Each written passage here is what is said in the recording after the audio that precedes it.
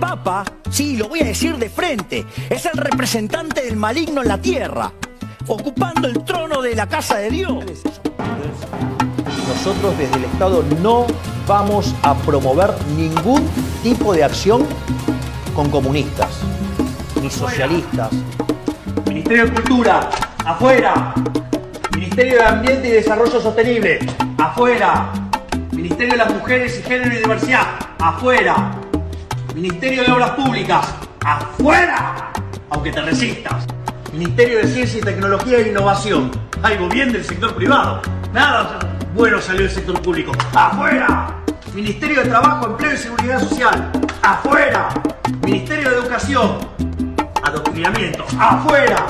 Ministerio de Transporte, afuera. Ministerio de Salud, afuera. Ministerio de Desarrollo Social, afuera. ¿Cómo queda el Estado?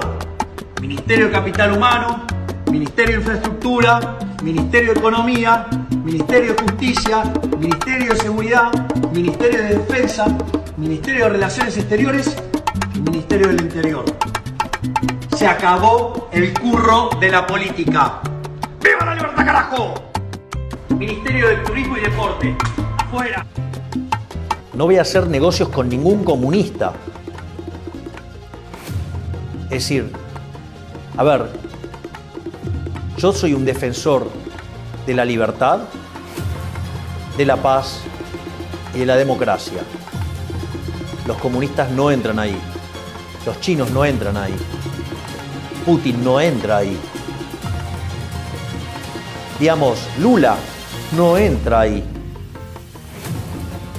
Es decir, nosotros queremos ser el faro moral del continente. Nosotros queremos ser los defensores de la libertad, de la democracia, de la diversidad, de la paz.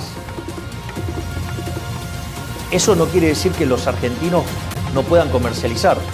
Si quieren comercializar con China, con Rusia, con, con Brasil, con quien sea, problema de los argentinos.